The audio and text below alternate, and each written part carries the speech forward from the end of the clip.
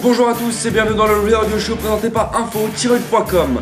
Avant de commencer, n'oubliez pas de cliquer sur tout ce qui se trouve sur les pages de votre site préféré pour nous aider à vous en donner chaque jour un peu plus. D'ailleurs, le boss est à la recherche de nouveaux talents pour nous aider à faire la couverture de nouvelles. Si cela vous intéresse, contactez-le à l'email suivant j-dux.hotmail.com. Au programme aujourd'hui 30 septembre, le Miss critique Triple H pour son hypocrisie.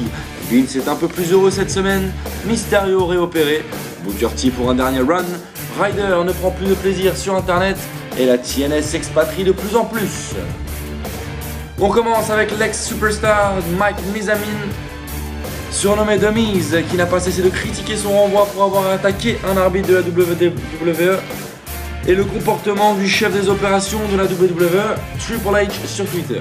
Lundi soir, le CEO avait expliqué à l'univers de la WWE que Mizamin et son coéquipier, Ron Killing, l'ex-superstar Arthur bien sûr, avait été licencié pour avoir agressé physiquement un arbitre de la WWE et proféré des menaces dans une vidéo exclusive après le Pay-Per-View Night of Champions.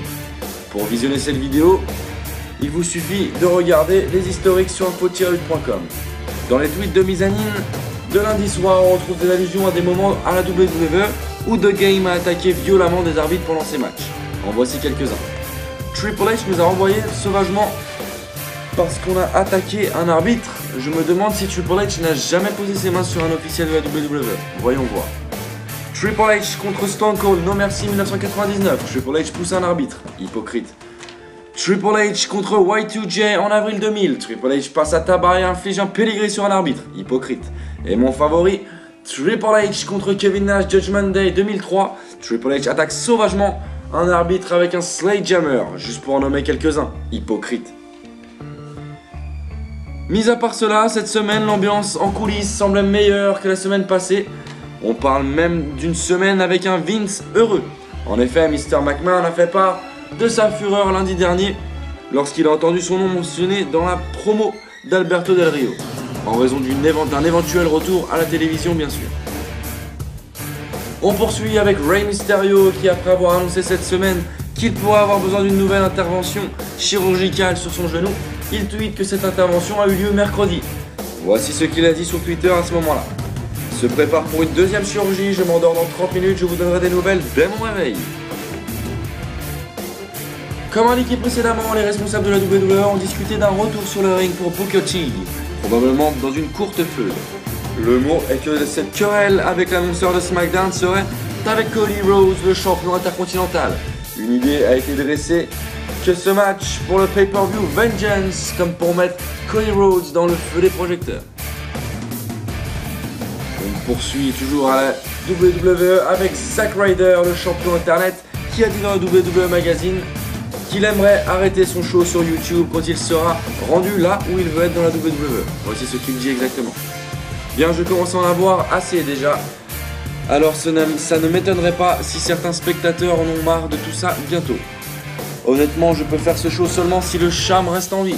Une fois rendu là où je veux être à la télé de la WWE, alors là, ce ne sera plus nécessaire de continuer le show et ce sera une bonne chose. Je vous invite d'ailleurs à regarder son dernier épisode qui est assez hilarant, toujours sur info-com bien sûr. On passe à la TNA qui a annoncé mardi que l'organisation sera en tournée en Amérique du Sud pour le mois de novembre après un passage au Canada en octobre. Bien que les détails spécifiques n'aient pas été annoncés, l'organisation fera escale à Santiago au Chili et Buenos Aires en Argentine. TNA annonce qu'il prévoit plusieurs tournées internationales au cours des 5 prochains mois qui inclut une visite au Royaume-Uni avec 7 spectacles, l'Allemagne et la Belgique en janvier. Dans le cas de Jeff Hardy, il ne devrait pas être de la tournée vu ses conditions que le juge lui a données de ne pas quitter l'État de Caroline, même s'il a une permission spéciale pour travailler à la TNA. La permission s'applique seulement à l'intérieur des États-Unis. D'ailleurs, on termine avec nos amis du Québec. Je vous rappelle de ne pas oublier que la TNA sera au Québec la semaine prochaine, à Montréal le vendredi 7 octobre, le samedi 8 à Sherbrooke et dimanche le 9 à Trois-Rivières, comme dirait votre animateur. Soyez-y, mesdames, messieurs. Pour plus de détails, je vous invite à visiter la section du Québec d'info-8. En ce qui concerne nos amis belges, ils auront la chance d'assister à un show de TNA le 24 janvier 2012. Voilà, c'est tout ce que l'on a pour vous aujourd'hui. N'hésitez pas à nous faire part de votre opinion sur tous les sujets proposés dans notre forum. Abonnez-vous à la chaîne YouTube pour de vidéo pour tout avoir l'exclusivité. Sur ce dit, à bientôt et restez branchés